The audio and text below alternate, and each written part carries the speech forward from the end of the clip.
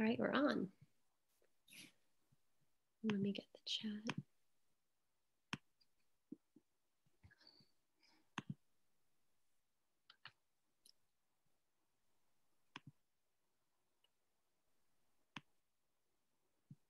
Hello and welcome.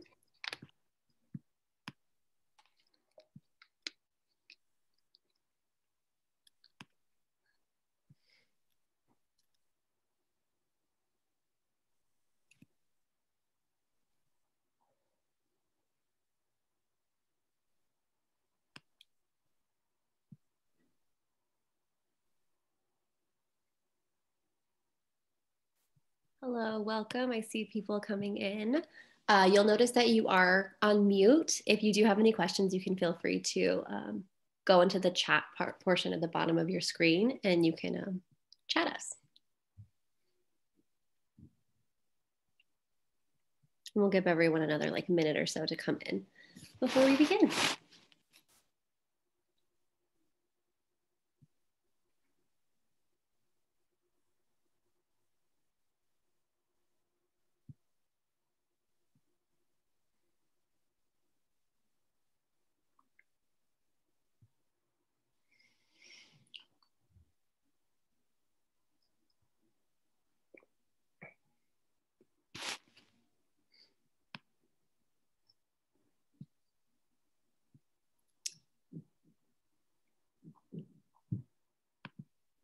Okay, let's begin. So, hello and welcome. My name is Janae Dominguez. I am a BCBA here at Bierman, and I have Felicia Bennett, who is a speech language pathologist, also at Bierman, joining me today. We'll be covering the basics of speech therapy and the basics of ABA and an overview of teaching strategies. So, the format today is going to be speech therapy for the first half of our uh, training, and then the basics of ABA after. So, let's begin. Um, just so you guys know, during the webinar, everyone will be muted. This is an active participation webinar in which I'll be pausing frequently to ask questions. You can respond with the chat feature. For the chat feature, you can send your answers directly to me or to all panelists. Uh, Felicia and I will refrain from using anyone's names, um, and we won't use child's na children's names throughout the presentation. The chat is the easiest and most efficient way to communicate throughout the webinar. If you chat the panel, panels and attendees, everyone can see your responses versus if you only pick panelists in which I'll read the answer without mentioning any names and unless you specify that you want me to read them.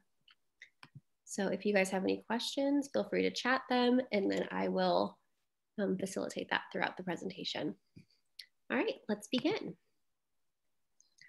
All right. Hi, everyone. My name is Felicia Bennett, and I am one of Bierman's speech language pathologists. And I'm just glad that you guys are joining in with us this evening to know more about ABA and speech therapy. Um, first, I just want to take a poll to know how many of you has had experience with speech language services for your child. One being no, uh, two being one to six months of services, six to 12 months of services, or 12 or more. Okay, I am seeing it. yeah, the poll moves quickly. All so right. We'll give everyone like up to like 30 45 seconds to. Okay, cool. And then we'll share it with everyone so they can see.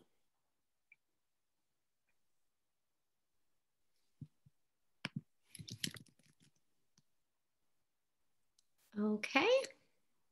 I see 82% of you have voted, so I'll end the poll. And then we'll share. All right.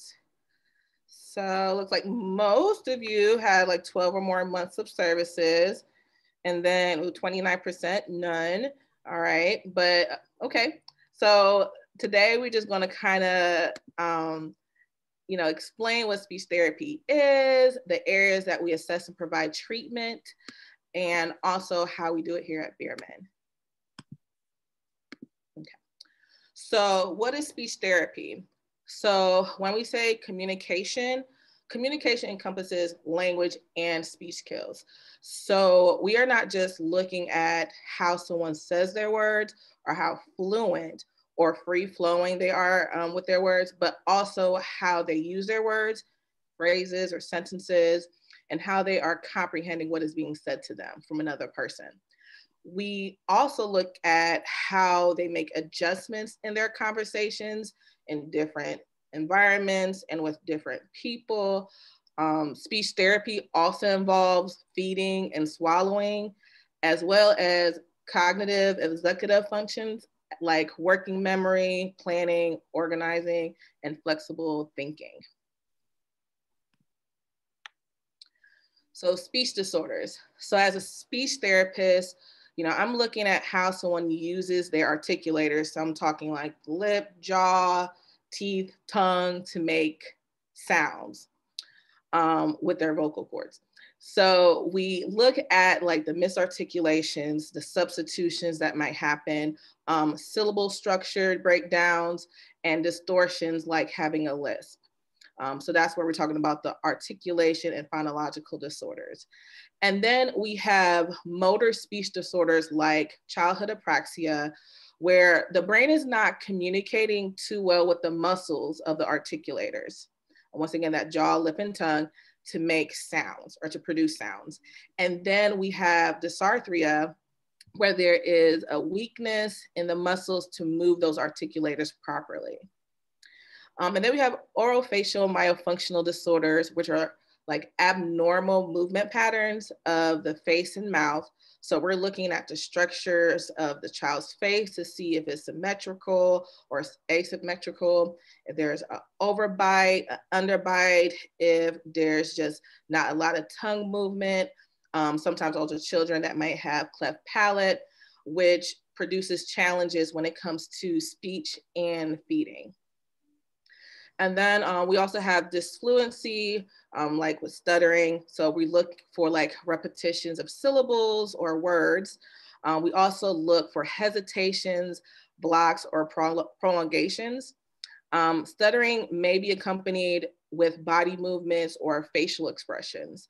Um, some stuttering is normal during language development because the child is picking up so many words and learning how to like formulate um, formulate their sentences and phrases, but it doesn't, um, but it doesn't, but if it doesn't disappear by the age of five, then that's where we probably look further and try to come up with some strategies to decrease those disfluencies. Also, lastly, we have voice disorders. So this is where we look at how the voice sounds. So I'm looking at if the individual is speaking very soft or they're speaking too loud um, do, is their voice very hoarse? Um, or do they sound nasally, like they have a head cold? Or is it breathy? And then like why it is happening. And then we have language where we look for how someone uses language and how they understand it. So we have expressive language, which is how someone uses their words. So as you can see, you know, we're looking at vocabulary, how many different types of words the child is using, from like verbs to nouns to concepts like spatial and quantitative. Um, we are also looking at grammar. Does the child use the correct tense of a verb, such as eat, ate, um, possessives like yours and mine. Um, also, we look at the sentence structure. Um, it could be as simple as using like one two, three words, or it could be as complex like having contractions like would it, would not, or wouldn't, or conjunctions like but and and. Um, and then we have receptive language, which is how someone understands the language that's being used. So following like one to multiple step directions, as simple as stand up and pushing your chair, or as complex as go to the kitchen, open the refrigerator, give me three red apples. So like right there in that direction, there's like so many parts to it. So first the child had to be able to find the location between, all right, do I go to the bathroom? Do I go to my bedroom or do I go to the kitchen? All right, kitchen. Now they have to go into the kitchen and then be able to identify, all right, Am I looking for the microwave? Am I looking for the dishwasher? Am I looking for the sink? Oh no, I'm looking for the fridge. And then we had the concept of, oh, am I going to open the fridge? Do I close it? Do I stand next to it? What do I do? And then we have the concepts of like the quantitative concept of three, because now we don't want one, we want three apples, and then the noun, the apples, and then the color of the apples. And then also then that they have to bring that items to you, not to someone else.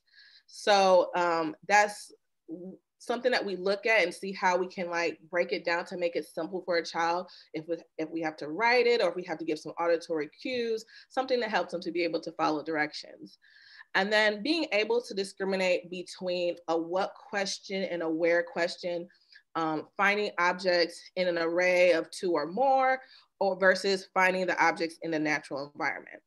So, and also keep in mind that receptive language typically develops first before expressive language. So that's why a lot of times we encourage parents to really do a lot of talking and pointing and looking with their child um, because that's what develops first. Um, so yeah. Um, and then we have social skills, or this is like pragmatics. So with social skills, we look at how uh, we communicate and how we interact with others. Um, there are different reasons why we do it. Um, we may say hi, we may ask for something, we may tell them about like our weekend and go to like, hey, I saw this person did that. Um, so there's a lot of reasons why we interact with others and what we're telling people. Um, then we change how we communicate based on the person, place, and or situation. So how I talk to you all in this webinar is different with how I talk to my family or how I talk to my friends. Um, if I am, you know, see a baby sleeping, I most likely will be quiet or talking a whisper versus if I'm out in a crowd, I'm gonna talk louder. And then we have those conversational rules. So we work on like, you know, not being able to overtake a conversation or being one-sided or knowing when to um, enter a conversation, when to exit, um, being able to read nonverbal behaviors like body language and facial expressions. And these are just a few things that we look at um, with social skills. And sometimes we'll like address these with social stories, or we might address them with video modeling or having those peer interactions and just being able to facilitate and so that the child is able to learn what we're teaching um, in that moment. Okay, then we have augmentative and alternative communication. So with AAC, it's going to be augmentative by adding to someone's natural voice, or it's going to, and or it could be alternative to use in place of someone's natural voice. AAC accomplishes like many things like communicating wants and needs, being able to share information, creating those interactions with others, having social etiquette, and be able to communicate with oneself. So with AAC, like visual supports like a first then board um, or a token board as an example. Um, how many of you guys create a grocery list before going to the store? This is also a form of AAC because you're communicating to yourself what to buy, and to make sure that you don't go over your budget. Um, so like using a calendar, texting, these are like other forms of AAC. All right, so we have like another poll going on. We only doing true and false. AAC delays speech and language development. What are your guys' thoughts on that?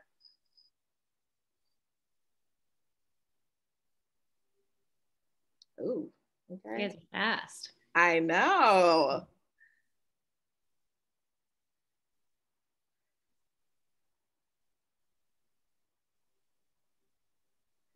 Give him like 15 more seconds.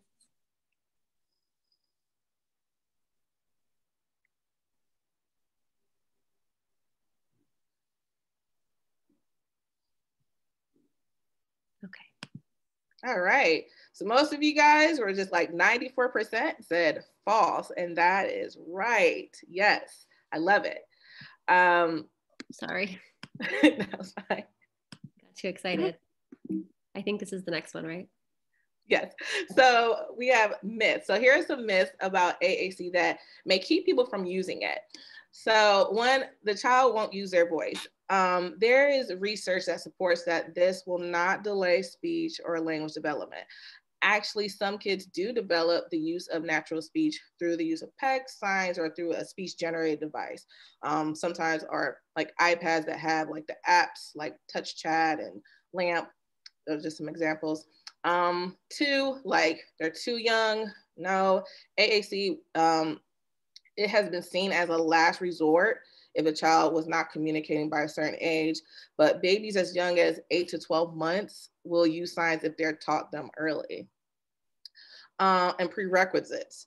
Um, there's no cognitive level that your child need in order to use AAC. If your child could look, grab, reach, point, move their head, engage, we can find some form of AAC to work best for them.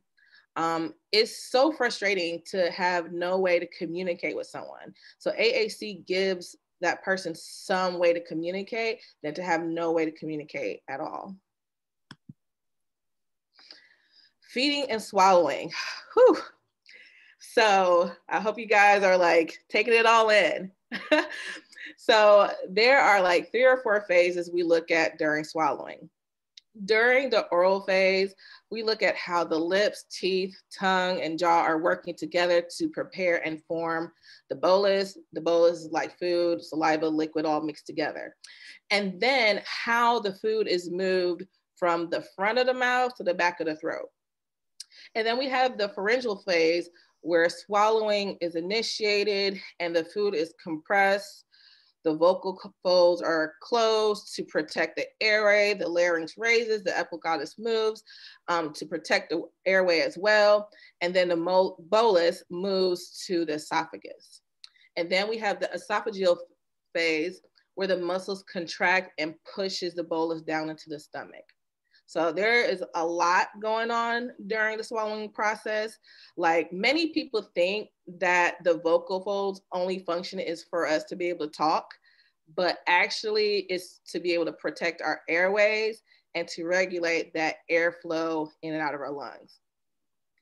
Um, so going back to those stages, um, so I'm looking for like during the oral phase, like is the food falling out the mouth? Are they drooling? Um, when they use a spoon or a fork, is the food, is the all of the food removed or is there still some particles left? Um, um, during the pharyngeal phase, I'm looking for like, are they clearing their throat? Is there some nasal drainage going on? Um, are they coughing? Um, are, is there a change in their voice after, after they eat or after they swallow? And then in the esophageal phase, um, are they spitting up? Are they throwing up? Are they having some stomach issues? Um, so as a speech therapist, I am looking for those signs that would indicate or raise concern for a feeding or swallowing disorder. Um, so if this is something that I can work on by strengthening the oral motor structures or incorporating like some type of compensatory strategy, such as like alternating between liquids and foods, um, decreasing the consumption rate, then okay. But if it's something that I need to see like what else is going on, I may refer the child to see a specialist or to get a swallow study. So um, this, uh, with the screen and evaluation here at Bierman, um, we will have the parents or guardians fill out a feeding intake and provide some information or some history of their child on feeding. Um, so some questions that will be asked is like, what's the child's diet? Uh, do they eat better with certain people or in certain situations?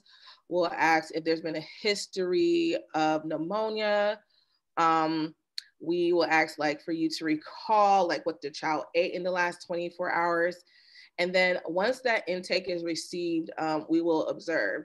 So some of the things that we'll observe are like the behaviors, like, you know, are they, you know, crying? Are, you know, are they having some tantrums? Um, I'm gonna be looking at their diet. Um, do I notice that they eat, they prefer to eat more soft foods like pudding, or do they like to eat like bananas, or um, do they like crunchy foods? Um, I'm going to be looking at their oral motor structures, that swallowing, just like that process I was telling you guys about. Um, utensils, that's usually more OT. Um, but I'll be looking if the food clears off of their utensils. Um, posture, are they slumped over? Are they eating at a 90 degree? Um, just to prevent choking. And then, um, then I will collaborate with the team. So as you see with the team, with me, I'm looking at swallow and oral motor, OT, self-feeding, positioning, textures as well, and then BCBAs, the behaviors. So here at Bierman, we have like two models. Um, we have the consultative model where it's a non-billable service. So this is not going to be billed to your insurance or anything.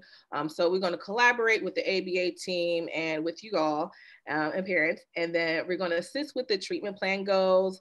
Um, provide an input on developmental milestones of speech and language skills just to make sure that they're appropriate or that the child they can make the right sounds at that age or if they should be what um, type of vocabulary they should be using um, and like or following directions. If there's too many concepts like that one direction that i gave you guys that had everything in it versus like do we need to simplify it um, or do we need to um, some modifications so that they're able to reach that goal?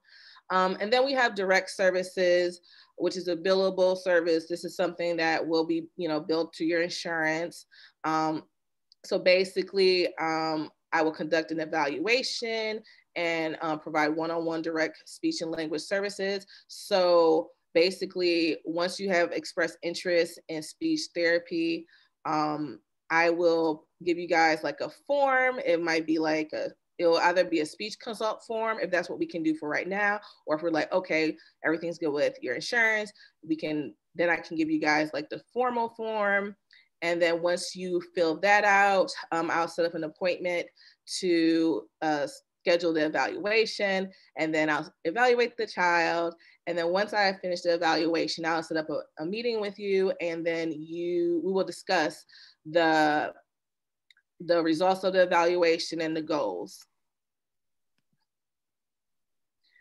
So who needs speech therapy or who needs speech language pathology? So like, as you can see, we work on many things mentioned in this webinar and more, some things that I haven't talked about. Um, we work with many populations and ages. Um, I hope that you were able to gain more information about speech language pathology and I hope it um, and how it works here at Bierman. Any questions? Again, feel free to put it on the chat. And if you want just Felicia and myself to see it, you would just put it under panelists. And if you want everyone to see it, you would say all participants.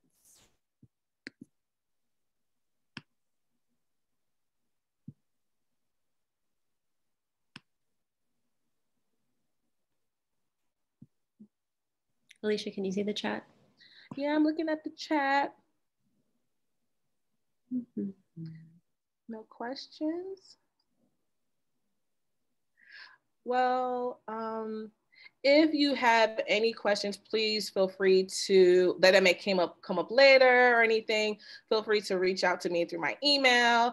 Um, and I'll be definitely glad to answer any questions that you have. Um, or if you just kind of want to know, like get some more information about the process and how everything works again, that's totally fine. Just feel free to reach out to me. Um, I will be more than happy to answer any questions that you have. Oh, um, we got a question. It's oh, okay. how, how long are the speech therapy sessions at Bierman? Oh, okay. There we go. Um, so depending on the um, the results of the evaluation, um, and the severity of the language or speech disorder is usually like one time a week for 60 minutes. If the child um, has like a severe articulation, phonological um, disorder going on, we might recommend um, two or more sessions a week for like 30 minute sessions. Um, it just, just depends on how um, the insurance is willing to work with us because sometimes they might have some stipulations or some things where we kind of have to like do an appeal or we might have to like submit a reauthorization to request more um, sessions. There's another question, Felicia. Do you want me to read it to you? Yeah, because I'm not seeing the questions for some reason. It says, We're on a waiting list for my son to start coming to ABA in person. Are these services all for after he starts there? Um, yes, once um, he starts at Bierman, then um, you'll have your meeting with um, the CD and uh, with his BA, and then they'll let us know if you guys are interested in services for speech or OT. And then we'll hop in, try to get into a meeting and talk about, you know, what we can do. And then we'll at least start you off with the consultative services. Um, that's something that everybody can have and then we'll work with you. And then once everything is like squared away with insurance, then we can get you on the list to be evaluated and have services. Uh, another okay. question popped up. Okay, I can't see this one. Okay. You can see it or you can't? I'm yeah, sorry. I can't see it. Oh. Um, okay, for seven years old nonverbal child with AAC, how many sessions per week would be beneficial for him? Um, once again, that's going to depend on the child and like and what is going on. I mean, also know too that I will be collaborating with the BAs as well. So they're going to be not only getting their session with me, which is one on one, but I'm going to be collaborating with the BAs and the BT so that they're incorporating those strategies into their sessions as well.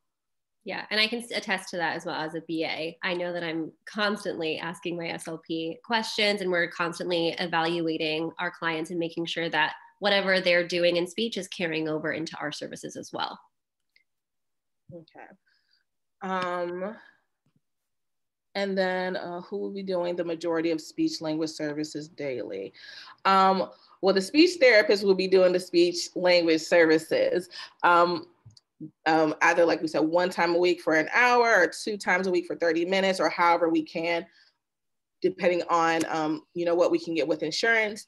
And then we will be training the BAs and the BTs to be to be able to incorporate some of those strategies throughout their sessions so they can work on those every day. And then we'll see progress um, more quickly. Okay. Okay. Um, and then more questions coming in. okay. Uh, Sometimes my four-year-old stutter, but it only when accompanied with tantrums. Is that normal? Um, yes, I would say that is normal. I mean, when you know when we get upset, sometimes we're flustered. We trying to like trying to articulate how we feel, but it's like everything is going on. I mean, even for us adults too, sometimes that happens. We just figured out better ways to uh, cope with that when we when we're upset. Either it's just walking away and taking a minute. But for some kids, like because they haven't developed those coping skills and we haven't taught them it yet, it's probably going to happen that they probably will stutter if accompanied by like a, a tantrum. So that is normal. Okay.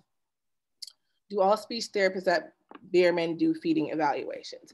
Um, yes, if you are um, wanting, uh, definitely have concerns about feeding, um, we will, like, like I said, give you that feeding, um, feeding intake, and then we will like do the evaluation. Now, like I said, if it's something that we feel like is maybe we need to have like a specialist or someone further look into, like um, if the child we're like using like those those strategies to uh, decrease like food coming out the mouth or coughing and choking, then we're like, okay, we need a swallow study, and we'll work with those specialists to figure out how to best um, treat the child. But yes, all the speech therapists at Bierman, we do um, the feeding evaluations.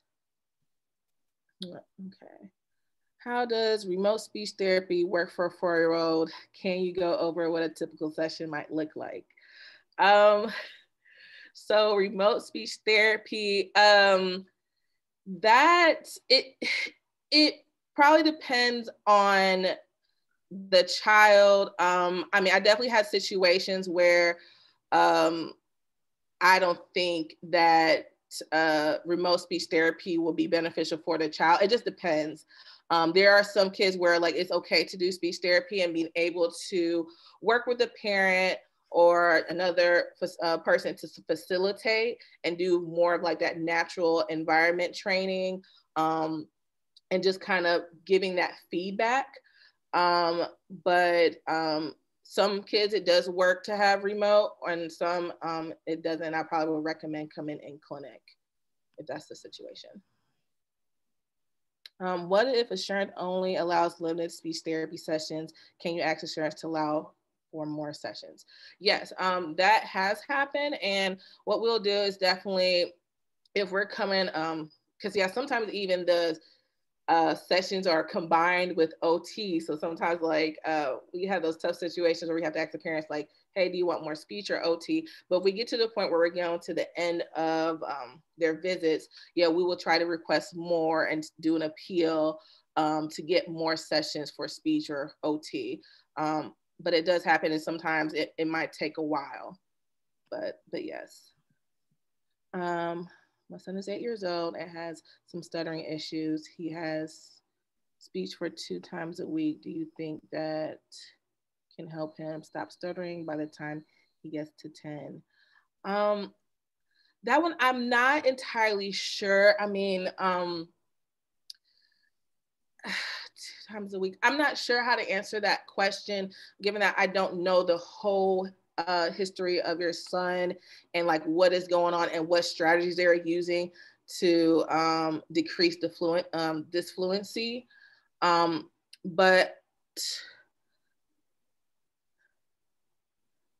I'm not sure if that is something that we will see decrease by 10 years old. It it definitely depends on what strategies are using and then um, and I will probably talk to your speech therapist on what uh, they feel um, is best and like what the prognosis will be. Um, sorry, I couldn't answer that question. um, for young children that cannot come in person, can you recommend specific AAPs or online programs that would help with speech therapy for both receptive and expressive language. Yeah, um, definitely. The, uh, with technology developing, there's so many apps. and sorry, I had just read like APP and I was like, oh, apps. there. um, there are so many apps and so many things out there with te- uh, technology that yeah that I would recommend. Um, for teaching um, receptive and expressive language. But I'm going to always tell parents that, you know, if you don't have the iPad or the apps, what would you use? Like use your natural environment. So like when you're in the kitchen with your child and you are, you know, wanting them to like um, label things like you know talk about you know bring up a you know an apple like oh here's an apple it's red talk about it or like give the instructions like oh give me the apple put it you know point to the apple like talk about what you do with the apple. Like during play activities that's like perfect. Play skills are like great for language development. Talk about like all right i'm going to put the doll in the house. I'm going to take it out. Oh it's going to cook. Doing those like working on those pretend play skills like i'm always going to recommend doing those things um, just because like the uh, within the context the child is able to gain so much just by you modeling and talking and talking about what you're doing. Um, then like with the apps, I mean the apps work as too, but I always encourage natural environment teaching. There's also some questions in the chat. I don't know if you can see them, but I can read them to you. Um, so some of them are, what are the qualifications of a speech therapist at Bierman and where do you find them? Oh, okay. Um, so uh, for a speech therapist, we have to have a master's degree. Um, so we'll have like about two years of training. This includes um, clinicals, um, internships. We um, in the hospitals, nursing facilities, in a school. Um, and then even after we graduate, we have our clinical fellowship year, um, which is about nine months, where we basically are supervised by another speech therapist who has their C's. Um, and they're going to be able to like give us feedback and um, and just to um, to help us like build our skills. And then after that nine month period, post our master's degree, um, then we apply for our C's, and then ASHA's like, "Here, you are a speech therapist." Um, mm-hmm. but speech therapy, we go through a lot of training. I mean, honestly, with what I did tonight, like that is just like a brief thing about each area. I mean, if I was to break down each area, it probably will take me like, I don't know, probably months to do like an hour on each thing just because it's just so much. But that's what I love about speech therapy. We, we kind of go into like all areas. But yes, the training, um, two years, master's degree, post nine uh-huh. months yeah. The next one, I don't know if you'll know the answer, but we'll ask. Any idea how long it takes for a speech therapist to be credentialed? The one at Bierman isn't credentialed under my health insurance. Okay, so the credentialing process, um, it, it can take a while um, with insurances, uh, especially the type of insurance. Um, as I'm learning, um, sometimes it can take as easy as like two months, or sometimes it can take even more, or as such as like five months.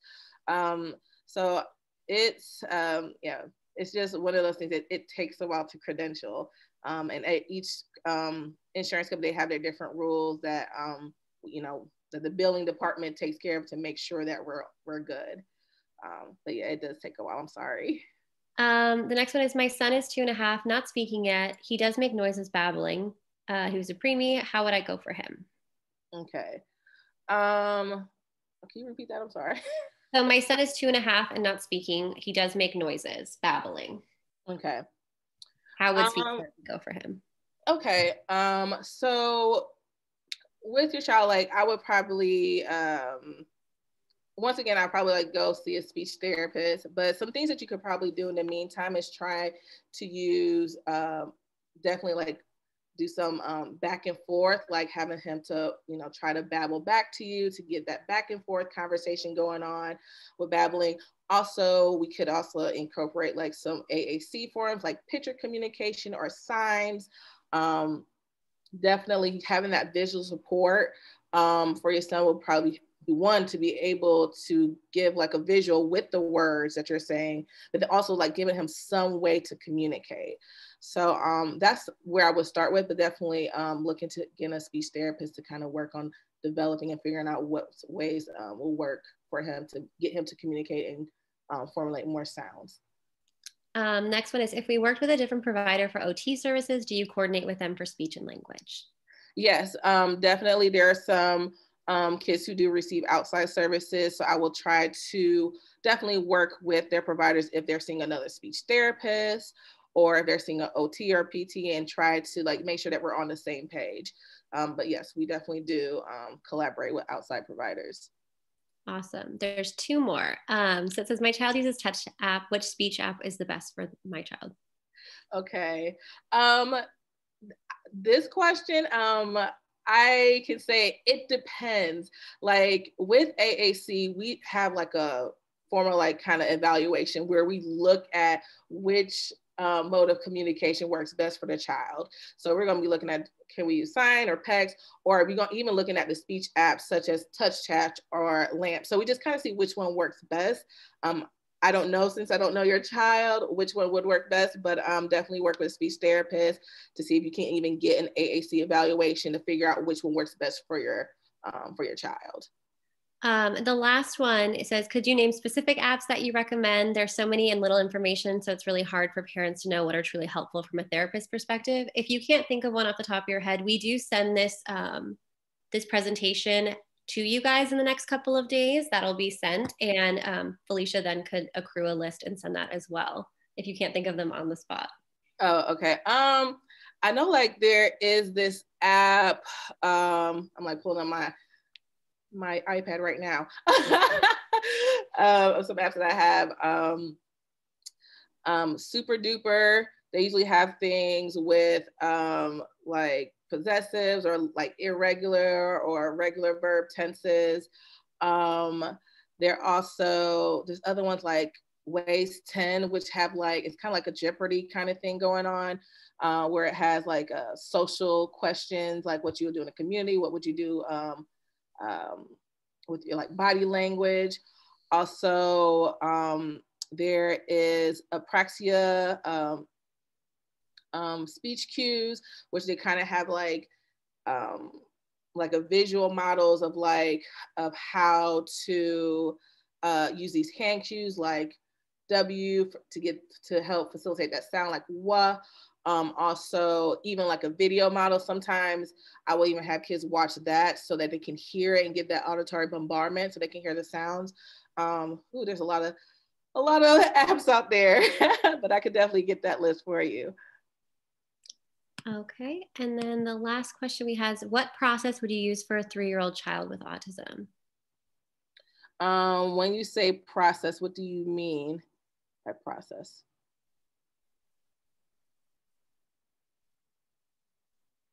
Are you talking about like an evaluation process? Like, what does that look like? Oh, Okay, eval, yes. So, um, so once I get like the speech intake, um, I will kind of look at the information that you provide, and like I, most times I have had had some kind of contact with the child. Um, I'm in the Indianapolis location, so um, I'll kind of determine what evaluations will be appropriate. I do try to do a standardized ass- assessments, like maybe the preschool language scale or um, we have like um, the OWLS assessment but then i'll also do like an informal assessment um, just to kind of because sometimes with the standardized test like you have to say it a certain way and sometimes i think that's like not necessarily fair because you know children with autism you know have different ways of processing information. So I'll use like an informal assessment, like the functional communication profile, which is more like open-ended questions, kind of asking me like, what can a child do? Can they name colors? Can they, um, do they localize sound to get more of an in-depth idea of like what the child is like. And so when I'm writing the evaluation for insurance, so they can see that, okay, they have this standardized score, but here they also have these other set of skills that we couldn't assess because of how the standardized test is set up. Another question is Have you had a child come into Bierman as nonverbal and started talking at Bierman? Um, from my experience as a speech therapist, I've have seen where a child come in with limited vocal skills. Um, and then as soon as we start using some strategies and using um, hand cues, then we'll start to see some vocalizations and then using words. Um, so that has happened. Um, but yes, um, but I also want to also keep in mind too that sometimes too, um, you know, there are some some kiddos where maybe those vocalizations might not develop as quickly or it might take a longer time. Or if they don't, like I said, with AAC, we're looking at, I just want them to be able to communicate somehow because to have, it's better to have some words than to have no words at all. Uh, the next question is Are there any standardized tests that can be administered remotely because of COVID, um, specifically for a four year old? Okay. Um, so there are some tests. Um, I probably have to get back to you on like which ones, um, because I haven't administered standardized tests um, remotely. Um, but I have heard from other speech therapists there are some if the child is able to do it. Um, if not, if uh, we can't do a standardized test, that's where we'll do more of that informal, just kind of asking questions from the um, parents and probably observing and just kind of getting some information to be able to kind of get an idea for the speech evaluation. Okay, great. Well, thank you so much, Felicia, for joining us. We really appreciate it. Thank you all for your questions. It's awesome. I mean, yes, really speech is a great uh, thing that we have at Bierman, and I feel like we collaborate constantly. So it's nice to hear from an SLP, all the amazing things that you guys do. All right. Thank you guys so much. And thank you for the questions. And I look forward to hearing from you all and what we do here at Bierman too. Awesome. Thanks, Felicia. Oh, and then there's some resources as well. Like I said, I will send this presentation out to everyone. Um, so now we'll co cover the intro to ABA. Um, this will obviously be a little bit shorter because we're running out of time, but I will try and go through as quickly as possible and get you guys as much information as possible. So our mission here is to provide support to you, your child, and your whole family. This process is about making daily life easier for your child and everyone involved in your child's life. We're using behavior analytic research and science to guide our decisions on what to teach and how to teach it. While this is important, it can also be intimidating to understand. So we're here to help you break it down. And we want to collaborate and make your experience meaningful. We want this information to be helpful and useful to you. And we also want your input and feedback throughout this process. Please never hesitate to reach out to anyone on our team for support. So the objectives, like I said, I don't think we'll get through all of this, but that's fine. Uh, we'll define reinforcement and how it's used to change behavior, understand why behavior happens, not just what it looks like, identify different teaching strategies, and identify prompting strategies that can be used to teach new skills. So we'll launch into uh, your ABA experience. So I will be launching a poll as well. We love polls here. So one would be no previous ABA experience, haven't started services. Three, less, or I'm sorry, two, less than three months of ABA experience, so you're a new client. One year of ABA experience, and then four would be more than one year of ABA experience, seasoned client.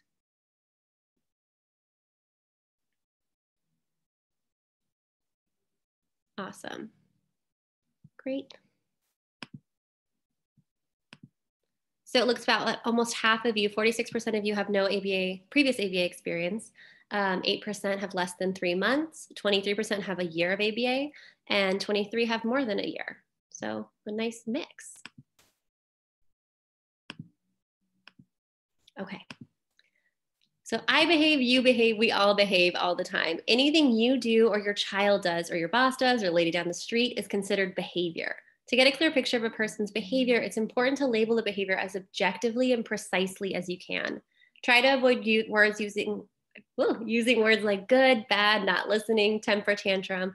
While those words could relate to what is happening, they don't present a clear picture of what the behavior actually looks like.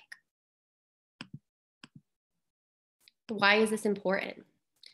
This is important because ABA services will look at a specific behaviors to increase and decrease the learner's daily life. And these can go hand in hand. So an example of this would be Sammy hits his mom every time he wants a cookie. He's taught to request a cookie and he gets it in replacement for hitting to get access to that. Now his requesting for a cookie increases and his hitting decreases.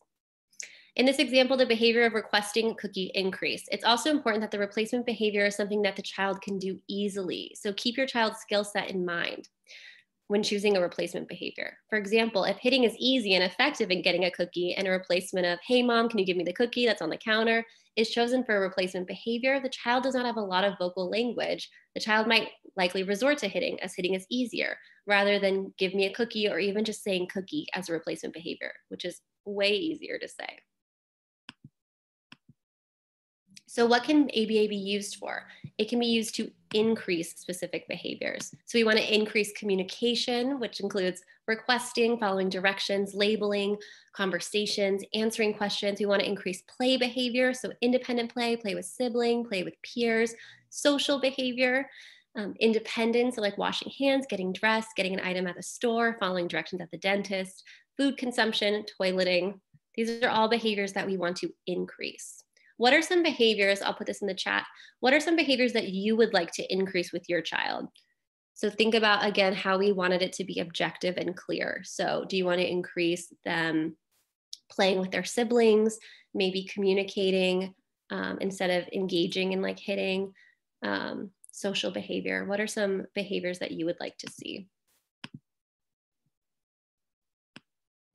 You guys could just write it in the chat communicating. Yeah, that's great. I think that's like a really big one that we always want to see. Communication, awesome. And communication come a lot of different ways, um, kind of what Felicia was saying. Um, toileting communication instead of aggression, socializing with peers, awesome. These are all amazing. Communication, yeah, communication's a big one and so important. Okay, great.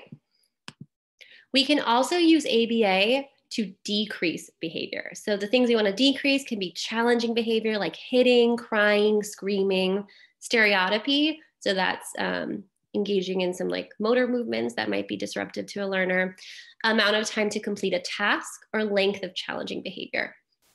So, what are some behaviors that you would like to see decrease with your child? So, it could be like challenging behavior, like what we had hitting, crying, screaming, throwing things, um, engaging in peer aggression. Flapping hands, making loud noises, okay. Flopping. Aggression. Great. These are all great things that, oh, stimming, okay.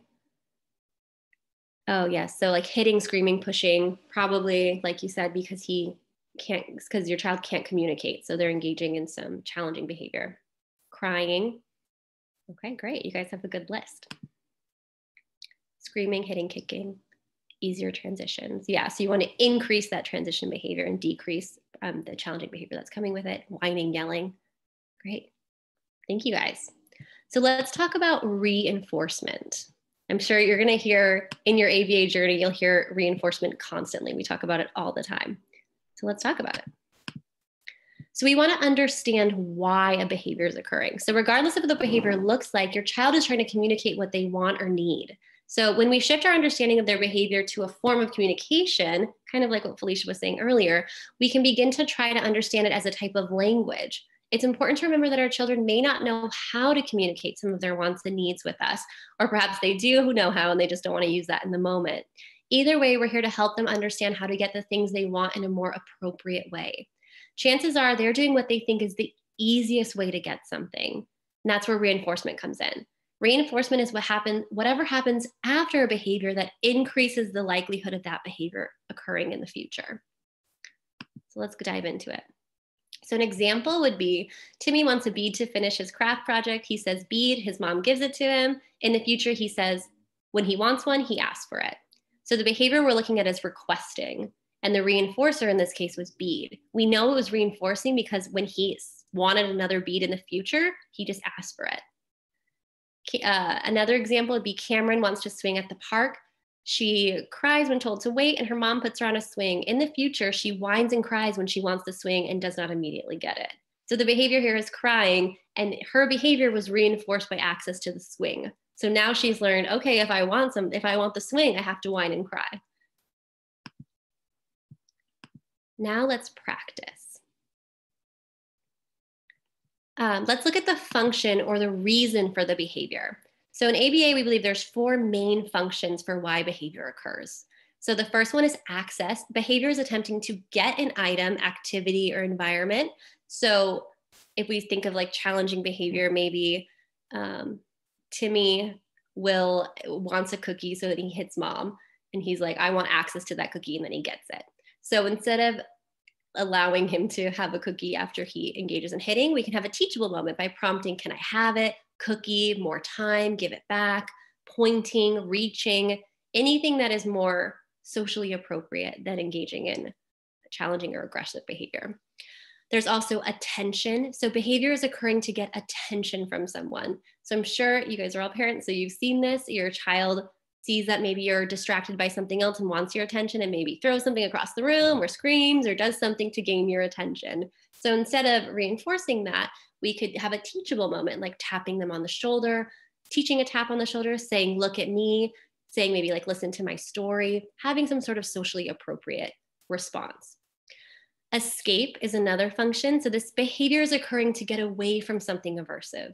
Again, I'm sure you've seen this and have engaged in escape behavior yourself. Someone asks you maybe to clean your room and you run away or you say no or you do something else. You're trying to escape something aversive.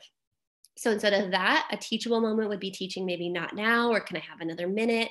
Maybe shaking their head no. Maybe learning a first then statement. So maybe it's like hey can i finish playing with my cars and then can i clean my room and then there's self stim self stimulation. So that's behavior that's occurring because it's automatically reinforcing. So this would be an example of there is no outside uh, force that is contributing to this behavior. It's all internal. So some stims that I do is I play with my hair a lot. I'll shake my foot and fidget. Some that we see with our learners could be hand flapping, sometimes vocal stereotypy where they're making noise and just like regulating their volume. Um, sometimes I see kids like staring at lights or like lining stuff up and looking at it. So let's think about the behaviors that you defined you would like to decrease. What do you think is something that's reinforcing your child's behavior currently that's causing it to maintain? So think about like the crying or aggression. Do you think that that's being maintained by escape, access, attention, or self stim? You guys can put that in the comments.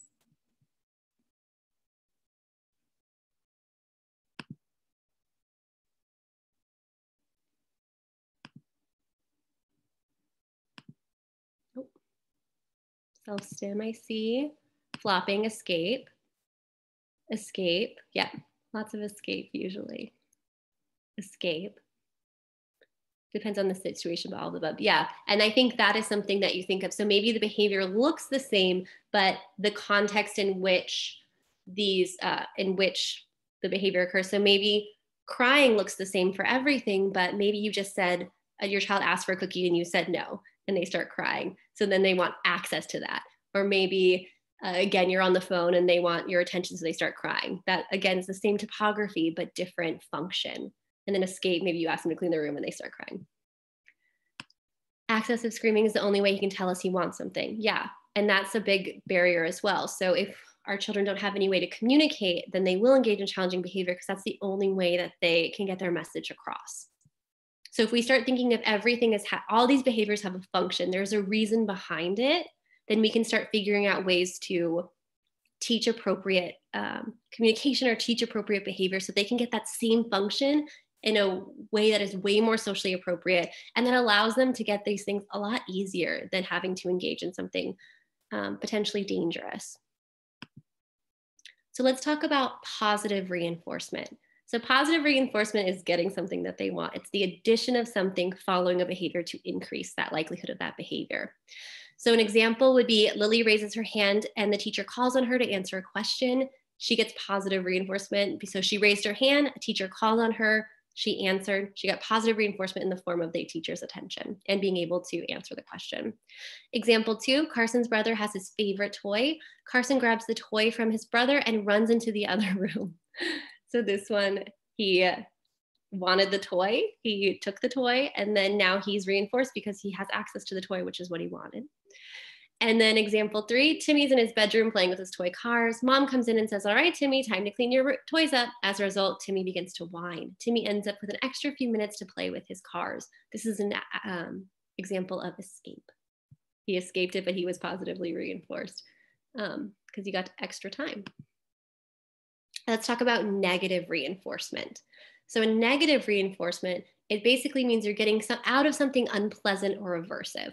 So, in example one, Kamal's mom gives him peas for dinner. Kamal begins throwing the peas on the floor. His mom takes the peas away and he gets something else. So, it was negative. He was contacted negative reinforcement. He was, he threw the peas and then those peas got taken away. So, he's like, cool, next time, if I don't want something, I'll throw it. Um, negative reinforcement took place. Example two, Veronica's baby sister begins to scream. Veronica covers her ears. Veronica's mom tells her sister, takes her sister to the other room. So in this case, the, the thing that happened right before screaming, that noise was pretty aversive to Veronica. So she covers her ears. She's being negatively reinforced. She's removing, she's doing a behavior of covering her ears. And then her mom takes her sister away, removing that aversive stimuli. So now she knows that if a loud noise happens, I can cover my ears and my mom will probably remove it. The key here is that something is taken away after the behavior. So positive, you want to think of just like math, something is added after a behavior and negative, something is removed after the behavior. So it's not really like pop culture always says where negative is like bad and positive is good. Positive is just the addition, negative is just the removal or subtraction. So let's talk about creating a teachable moment, kind of something we already talked about earlier. So for access, again, behavior is attempting to get an item or activity or environment. So a teachable moment is prompting, can I have it? Can I have more time? Can I give it back? Pointing, asking for the name, the thing by name. Attention is behaviors occurring to get attention from someone. So again, instead of screaming or crying or hurting someone, it's tapping them on the shoulder saying, hey mom, hey dad, look at me over here, doing a wave, something like that. Escape behaviors occurring to get away from something aversive. So teaching like a one more minute teaching them to say one more minute, teaching to ask one more minute, saying like, hey, not now, maybe teaching them to shake their head, like, hey, I'm not done with my, whatever I'm doing. Um, or using like a first then statement. So like first I want to finish this, then I'll do XYZ. And then self self stim, so behavior is occurring because it's automatically reinforcing. So something like mouthing um, can be really challenging if there's like a lot of things in the environment that your child can mouth. So giving them like a mouther, a teether that they can engage in that behavior, get that sensory stimulation, but it's a lot safer. Um, or doing like imitation with toys. So showing them how to engage with different toys to ideally get that same feedback in a more socially appropriate and potentially safer way. Um, oh, I have a question.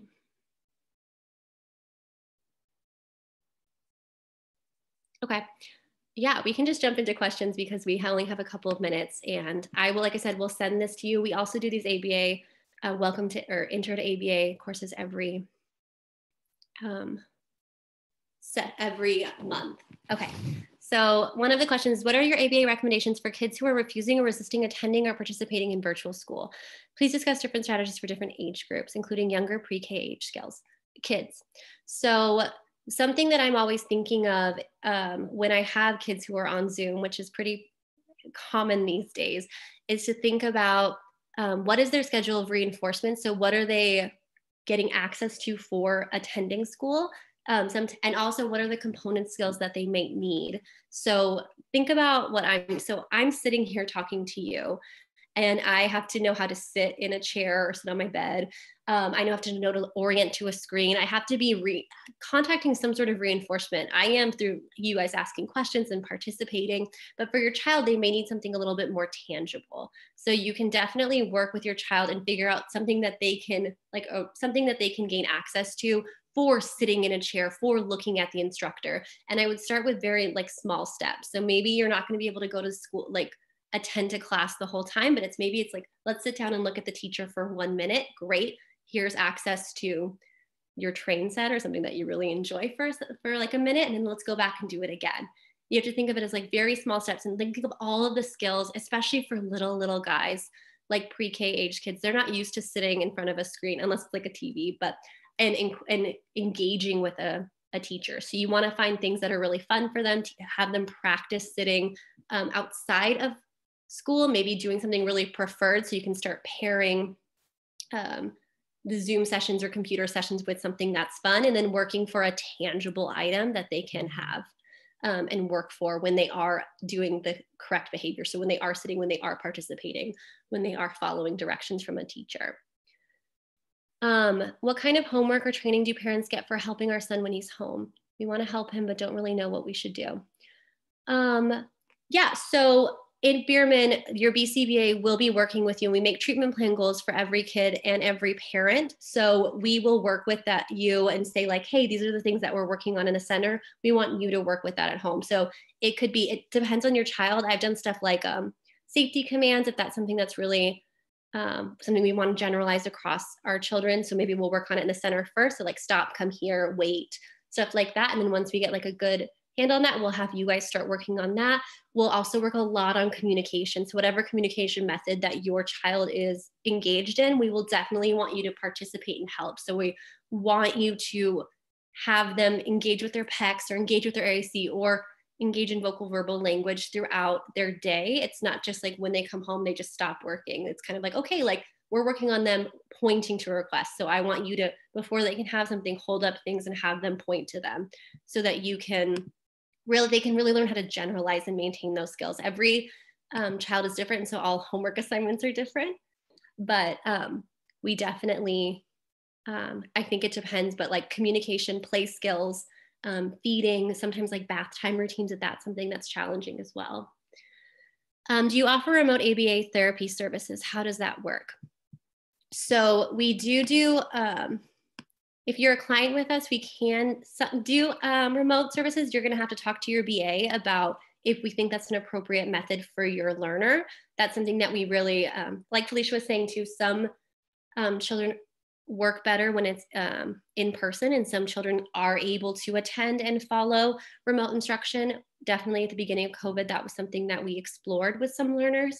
And again, it just depends on the client. Sometimes it's really short sessions because your kids can't sit for very, like kids or they can't sit for a super long time, or it's like lots of breaks um, in between. And then we're just working on programming that we think is appropriate for them, for um, working on those component skills that we need them to do, and um, getting them as ready for um, or increasing their independence as much as possible. So again, it depends on the learner. It depends on if we think that's an appropriate strategy for your child.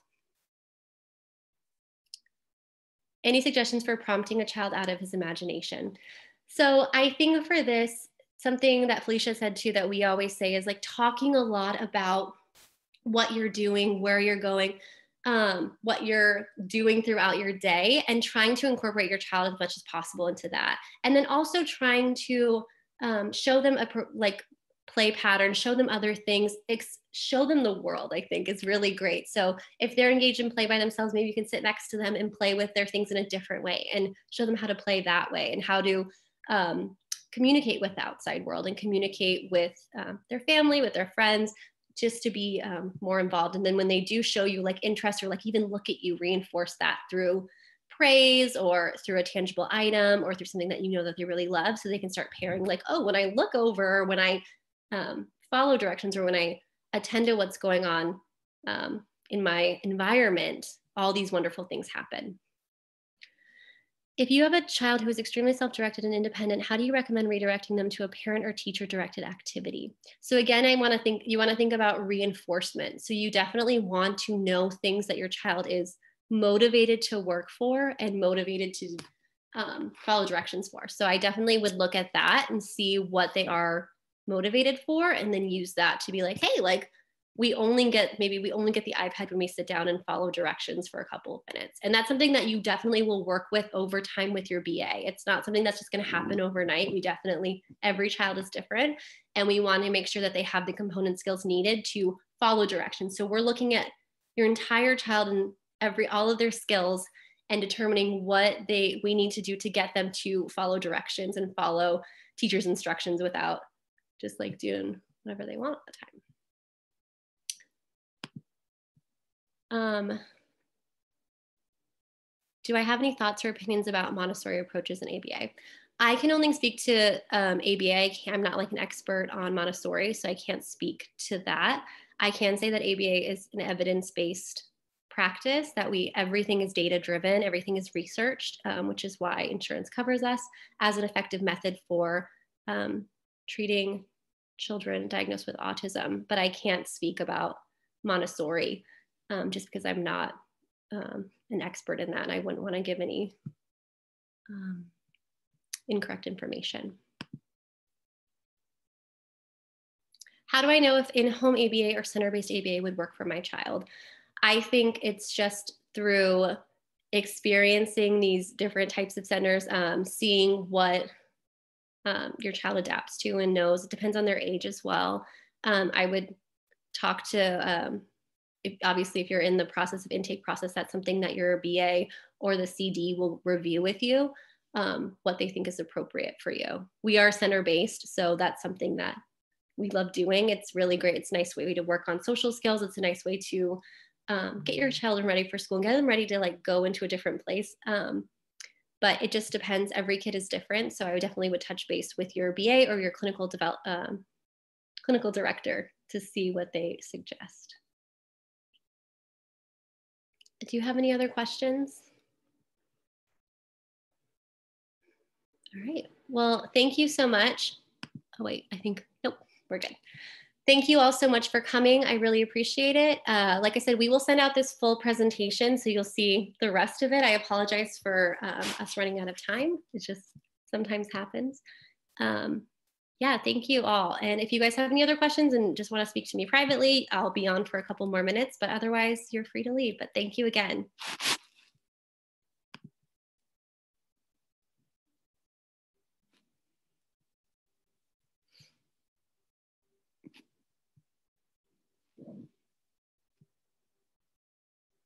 Thank you.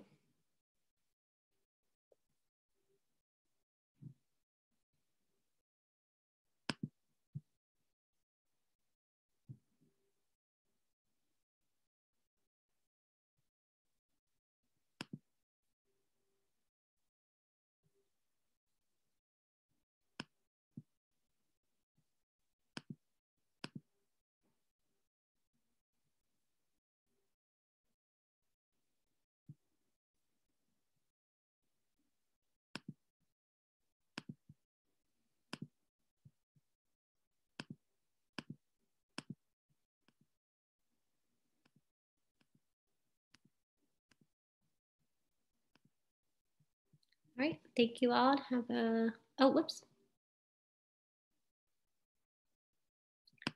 Um, for this, I just think um, as kids come with us and like are in are with us, they definitely change in their levels of independence, in communication, in um, social skills, in play skills.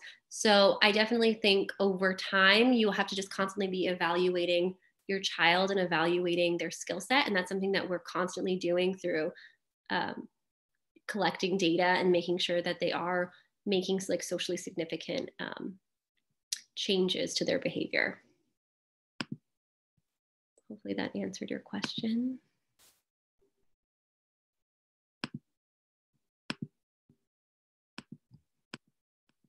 All right. Thank you all for coming and have a great night.